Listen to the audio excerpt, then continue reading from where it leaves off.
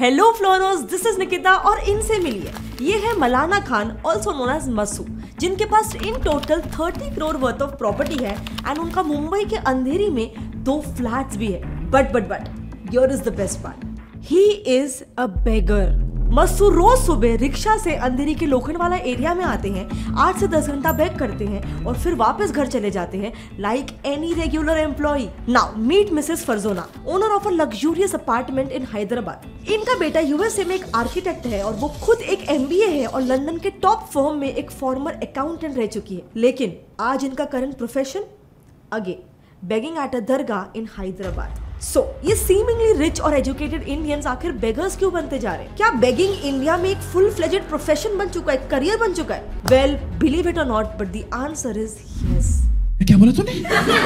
I know bizarre right लेकिन अगर हम स्टैट्स को देखें तो ये इतने भी बिजार नहीं लगते। फॉर एग्ज़ाम्पल इंडी वायरल नाम का यूट्यूब चैनल ने इन बेगर्स की अर्निंग पता लगाने के लिए एक सोशल एक्सपेरिमेंट कंडक्ट किया। इस एक्सपेरिमेंट में उस यूट्यूबर ने बेगर्स का डिजाइज लेकर मुंबई के स्ट्रीट्स पर बेगिंग करना शुरू कर दिया। And you will be shock to know कि बस सिर्फ़ एक ही घंटे में ही was able to earn rupees two hundred so picture this अगर वो दिन के सिर्फ़ पाँच घंटे भी बेगिंग करता है तो वो दिन के हज़ार रुपए कमा लेगा एंड सब्सिक्वेंटली पूरे मंथ का तीस हज़ार रुपए कमा लेगा।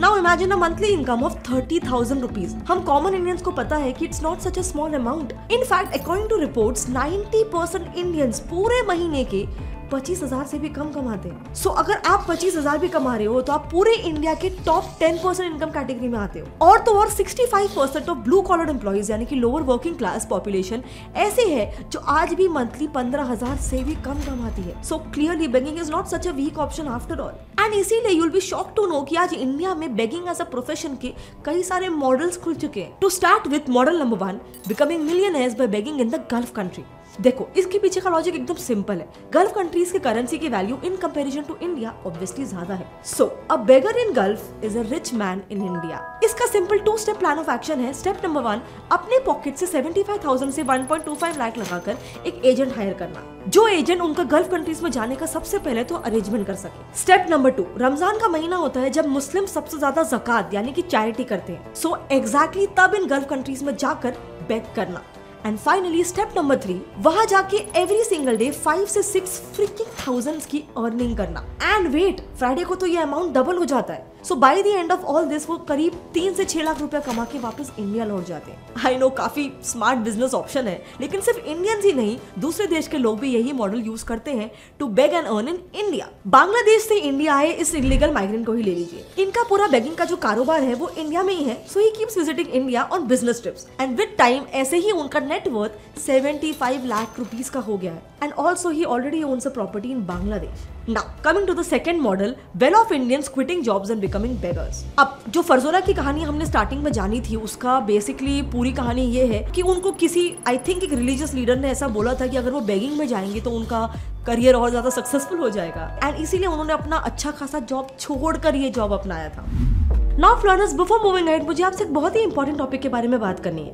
Mutual funds a financially safe and stable option for investing और इसी म्यूचुअल फंड्स में इन्वेस्ट करने का एक बहुत ही अमेजिंग प्लेटफॉर्म है Groww a one stop solution for experience investors as well as amateurs and जिसको मोर देन तीन करोड़ यूज़र्स कंप्लीटली ट्रस्ट करते हैं। इन दिस प्लेटफॉर्म आपको डायरेक्टली म्यूचुअल फंड्स में इन्वेस्ट करने का चांस मिलता है without any third party broker मतलब basically no commission and no hidden cost so चलो, देखते हैं कि ग्रो के ऐसे कौन से फीचर्स है जो इसको इतना अमेजिंग प्लेटफॉर्म बनाते हैं। फ़र्स्ट ऑफ़ ऑल तो मैं बात करूँगी इसके इजी टू यूज़ इंटरफेस के बारे में, जहाँ पे पाँच हज़ार से भी ज़्यादा म्यूचुअल फंड्स अवेलेबल होते हैं। Starting from high risk high return to low risk funds और जहाँ पे आप अपनी इन्वेस्टमेंट स्टार्ट कर सकते हो with as low as five hundred rupees plus by using flexible payment option such as UPI and ऐसे ही इजीली आप अपने इन्वेस्टमेंट को रिडीम भी कर सकते हो directly to your bank account next मैं बात करूँगी इसके स्मार्ट कंसोलिडेटेड डैशबोर्ड फीचर के बारे में। जिसके थ्रू आप अपनी सारी इन्वेस्टमेंट्स को मैनेज ट्रैक और कंपेयर भी कर सकते हो and last but not the least मैं बात करूँगी एक टॉप अप फीचर के बारे में, जहाँ पे आप अपनी एस को एक टाइम पीरियड में एक पर्टिकुलर परसेंटेज से इंक्रीज करना हो तो वो भी आप यहीं से सेट कर सकते हो and it will keep growing accordingly now इस प्लेटफॉर्म को यूज़ करने के लिए आपको सिर्फ़ ग्रो डॉट इन पे लॉग इन करके, या फिर डिस्क्रिप्शन पे दिए गए लिंक पे जाके केवाईसी करके अपनी इन्वेस्टमेंट जर्नी को स्टार्ट कर सकते हो investment in securities market are subject to market risks. Read all the related documents carefully before investing. Now, Flonas, coming back to the topic. But चलो that is done and dusted now meet Balakrishnan Balakrishnan use to be a soldier in the Indian army लेकिन अपने इस tenure में एक war में उनको एक physical disability हो गई so he turn into a beggar similar ही कहानी है दिनेश द्विवेदी की जो कि एक रिटायर्ड संस्कृत टीचर है with wait a double PhD but he too has turn into a beggar so basically एक अकाउंटेंट दूसरा सोल्जर और तीसरा स्कूल टीचर ये सबने अपना प्रोफेशन स्विच क्यों कर लिया? वेल well, चलो एक बेगर की कमाई इनके प्रोफेशन से कंपेयर करके देखते हैं। सो द हिंदू ने हैदराबाद के पच्चीस हज़ार बेगर्स को जब स्टडी किया तब उनको पता चला कि हर बेगर दिन का on an average rupees five hundred तो कमा ही लेता है। सो so, अगर हम डेली इसी पाँच सौ के हिसाब से कैलकुलेट करें तो ये मंथ में रुपीज़ फिफ्टीन थाउज़ेंड कमा लेते हैं इजीली अब चलो इनको कंपेयर करके देखते हैं दूसरे ऑक्यूपेशन से with average monthly salary so so, इसी एवरेज बेगर की इनकम को ब्लू कॉलर जॉब्स यानी कि एक नॉन रेगुलर वर्कर के एवरेज मंथली इनकम के साथ कंपेयर करें तो एक blue collar worker monthly rupees five thousand eight hundred और एक regular worker rupees thirteen thousand तक कमा लेता है। एंड वही एक white collar worker monthly twenty four thousand five hundred तक अर्न करता है on an average and in fact India as a full country का पूरा monthly average income is rupees thirty two thousand eight hundred so clearly again begging is not such a very bad option after all so it make sense कि इधर voluntarily या फिर इनवॉलंटरीली भी अपना profession switch करके लोग अपनी इनकम को बढ़ा सकते हैं। नाउ बेगिंग का model number three is money lending beggars money lending भी करते हैं, जो बाई द वे बहुत ही स्ट्रक्चराइज मैनर में होता है। सी सबसे पहले ये बेगर्स छोटे ट्रेडर्स रिटेलर्स स्ट्रीट वेंडर्स या फिर मीडियम स्केल बिज़नेस ओनर्स को टारगेट करते हैं। क्योंकि बैंक जो होता है ना, वो इनके लोन्स जल्दी से पास नहीं करता। एंड इसी लूपहोल का फ़ायदा उठा के ये बेगर्स इन बिजनेसेस को ओवरनाइट पैसा लेंड कर देते हैं। वो भी टेन परसेंट के साथ और सिर्फ़ चौबीस घंटे के लिए। तो अब इस पूरे ट्रांजेक्शन को अगर एग्ज़ाम्पल के साथ समझे तो लेट्स से इफ़ कोई trader ten thousand rupees borrow करेगा तो उसे टेन परसेंट आर के हिसाब से डेली के हज़ार रूपए इंटरेस्ट देना होगा राइट मतलब सिर्फ़ एक लेंडिंग करके इनकी डेली अर्निंग वन थाउज़ेंड की हो जाती है। एंड उस हिसाब से पूरे मंथ का थर्टी के हो सकता है बट माइंड यू अगेन ये पैरल इनकम ऑप्शन है apart from the normal conventional begging option and of course ये तो सिर्फ़ एक ही लेंडिंग से इनकम जो आ रहा है, वो है। ऐसे तो कितने भी ट्रेडर्स को ये लोग लैंड कर सकते हैं, उसके हिसाब से इनकी मंथली इनकम अगेन वेरी करेगी। इसका बेस्ट एग्ज़ाम्पल है पटना के बेगिंग प्रोफेशनल पप्पू, जिनकी नेट वर्थ 1.25 करोड़ है। अब प्रोफेशनल बेगर तो ये है ही, लेकिन उसी के साथ वो अपना मनी लेंडिंग का भी साइड बिज़नेस चलाते हैं, जिसमें बाय द वे उन्होंने ऑलमोस्ट 10 लाख रुपीस लेंड कर रखे now moving on to model number five which by the way is the most shocking one personal max Muzaffarnagar Bihar के बेगर्स ने अर्निंग्स के लिए प्रीवियस मॉडल से भी एक बहुत ही यूनिक मॉडल ढूंढ निकाला है। अपना खुद का एक पर्सनल बैंक खोल देना। नाउ इनका ये जो बेगर्स बैंक है, वो भी एक नॉर्मल बैंक की तरह ही फ़ंक्शन करती है।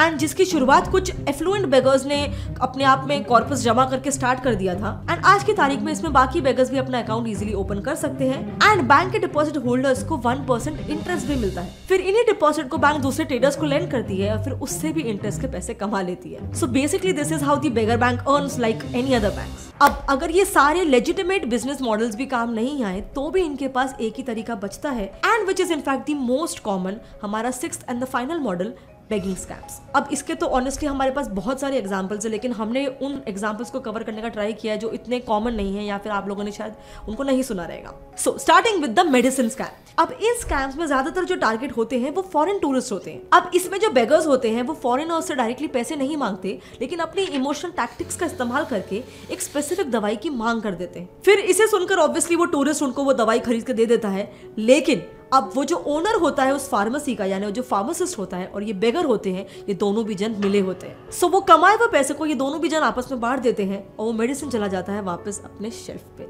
अब यही सेम स्ट्रेटेजी कुछ फीमेल बेगर्स भी फॉलो करती है। बस यहाँ पर वो मेडिसिन की जगह पे मिल्क पाउडर मांगती है to feed they are so called babies and babies wait I am sure आप सबने बेबीज को तो हर केस में एक औरत के साथ देखा ही होगा। बट एक बेबी स्कैम है जो काफ़ी ज़्यादा वियर्ड एंड यूनिक है। एंड जिसे एक famous TV celebrity Himani Shivpuri ने ही एक्सपोज किया था। सो so, हिमानी के अनुसार एक दिन जब वो अपनी खुद की कार ड्राइव कर रही थी तब एक सिग्नल पर एक बेगर्स के गैंग ने उनकी गाड़ी को घेर लिया। फिर उन लोगों ने बड़े ही स्लाई ली और जानबूझकर एक बच्चे को उनकी गाड़ी के नीचे सुला दिया। एंड फिर ये प्रिटेंड किया कि हिमानी ने उनके बेबी को हर्ट कर दिया। अब इसके बाद ऑब्वियसली उस एक्ट्रेस ने उनको हॉस्पिटल एड ऑफ़र किया तो उन्होंने उसको भी ब्लेटेंटली डिनाई करके सिर्फ़ उससे पैसे मांग लिए। सो अगेन ये पूरा का पूरा एक स्टेज अरेंज शो था, सिर्फ़ कुछ पैसे कमाने के लिए। एंड माइंड यू इस केस में वो बच्चे की जान तक जा सकती थी। So this is the extent to which ये लोग गिर सकते हैं पैसे कमाने के लिए। All the way from deliberately अपने हाथ पर कटवाने से लेकर छोटे बच्चों को ड्रग करके उनके नाम पर भीख लेने तक, ये बेगर्स पैसे कमाने के लिए हर वो इलीगल एक्टिविटीज़ करते हैं।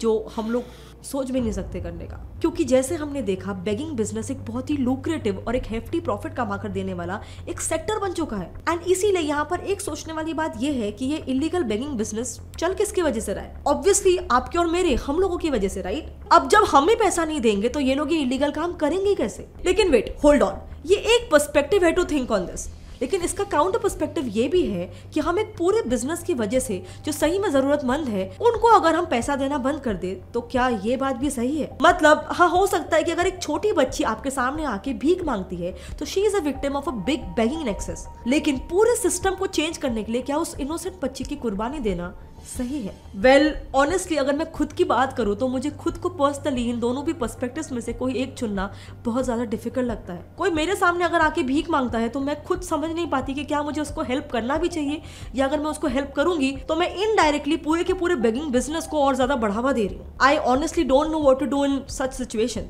and इसीलिए I would love to know your opinion on this आप लोगों का बेगर से डील करने का क्या तरीका है? Comment down below and let's debate इसके अलावा अगर अगेन मैं पर्सनली अपनी बात करूँ तो मुझे कोई आइडिया नहीं था कि बेगिंग जेनुअनली एक इतना बड़ा बिज़नेस बन चुका है। मतलब बिज़नेस कहो या प्रॉफिटेबल मार्केट कहो जो भी कहो लेकिन इतने सारे मॉडल्स रेडी हैं इस चीज़ के लिए। सो so, अगर आप चाहते हो कि ये बात बाकी लोग को भी मालूम पड़े तो प्लीज़ इस वीडियो को जितना हो सके अपने फ्रेंड्स और फैमिली में शेयर करो। इस वीडियो में जेनुअनली बहुत ज़्यादा रिसर्च गया है बिकॉज़ इसका डेटा इतना ईजिली नहीं मिल रहा था। तो प्लीज़ अगर आपको ये वीडियो पसंद आया तो इसे लाइक कर दो और ऐसे ही और एजुकेशनल वीडियो देखते रहने के लिए मेरे चैनल गेट सेट को सब्सक्राइब कर दो with bell icon on one आप फ्रंट की नेक्स्ट वीडियो की नोटिफिकेशन को मिस कर दोगे। मिलते हैं अगली वीडियो में तब तक के लिए कीप लर्निंग कीप ग्रोइंग जय हिंद